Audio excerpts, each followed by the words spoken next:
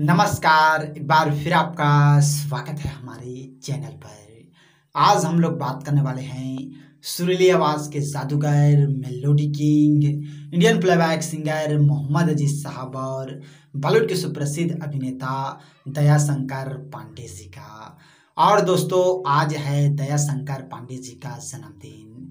19 नवंबर 1965 को दयाशंकर पांडे जी का जन्म उत्तर प्रदेश में हुआ था और आज वे 55 साल के हो गए हैं। तो आज हम लोग दयाशंकर पांडे जी के जन्मदिन स्पेशल में हमारे हर दिल अज़ीज़, मोहम्मद अज़ीज़ साहब और दयाशंकर पांडे जी के फ़िल्मों के गीतों के बारे में बात करने वाले हैं।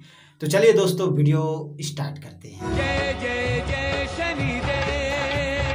यूँ तो दोस्तों दयाशंकर पांडे जी ने उन्नीस सौ तिरानबे की फ़िल्म पहला नशा से अपनी फिल्मी करियर की शुरुआत किया था।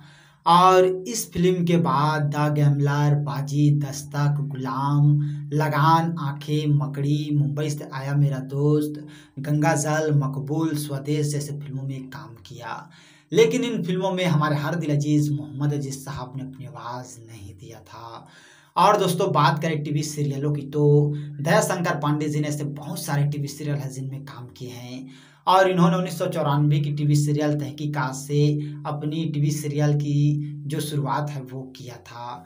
और तहकीकात टीवी सीरियल के बाद घर जमाई, वो साया, हम सब एक हैं, ये दुनिया है रंगीन, शुभ मंगल, सावधान और उससे बहुत सारे टीवी सीरियल हैं जिनमें काम किए। लेकिन दोस्तों, सन 2005 में आई टीवी सीरियल महिमा सनीदेव की। ये टीवी सीरियल आप लोगों को याद ही होगा। और इस टीवी सीरियल में दया शंकर पांडे जी ने भगवान शनिदेव का किरदार निभाया। और दोस्तों, ये टीवी सीरियल काफ़ी ज़्यादा लोकप्रिय हुई थी। और आप लोगों ने सुप्रसिद्ध टीवी सीरियल महिमा शनिदेव की देखे ही होंगी। और इस टीवी सीरियल का टाइटल सॉन्ग हमारे हर दिल अज़ीज़ मोहम्मद अज़ीज़ साहब ने ही गाया था। और दोस्तों, ये गीत जो है वो काफ़ी ज़्यादा लोकप्रिय हुई थी।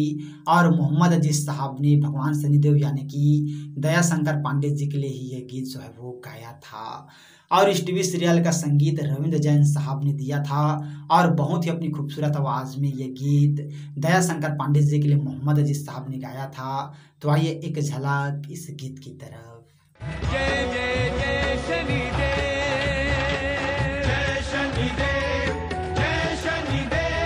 यही टीवी सीरियल है दोस्तों, महिमा शनिदेव की और इसी टीवी सीरियल में ही मोहम्मद अज़ीज़ साहब ने दया शंकर पांडे जी के लिए अपनी आवाज़ दिया था।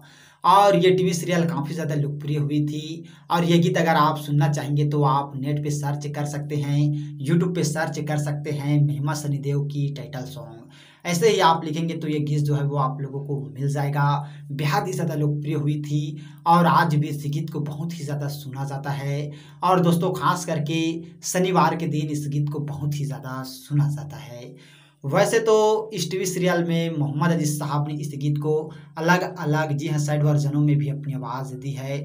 इसके साथ ही अलग अलग पार्टों में भी अपनी आवाज़ दी है। यूँ तो महिमा शनिदेव की टीवी सीरियल में मोहम्मद अज़ीज़ साहब ने कई गीत गाए थे। आप लोगों को कभी पवन, कभी ये वाला जो गीत है, वो याद ही होगा। इस गीत को भी मोहम्मद अज़ीज़ साहब ने महिमा सनीदेव की टीवी सीरियल में गाया था, जिसे आप लोगों ने बहुत ही ज़्यादा पसंद किया था। यूँ तो कई गीत मोहम्मद अज़ीज़ साहब ने महिमा सनीदेव की टीवी सीरियल में गाया।